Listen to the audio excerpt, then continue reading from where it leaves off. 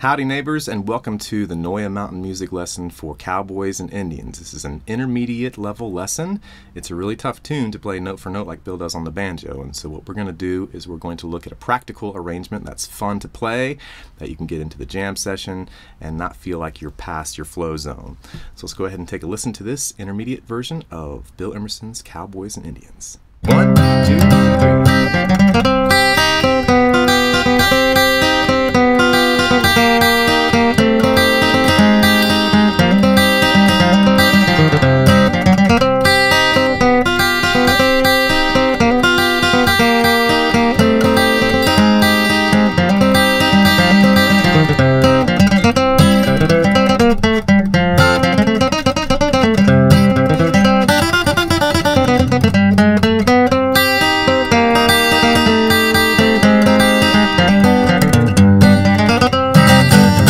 All right, let's have that a little slower.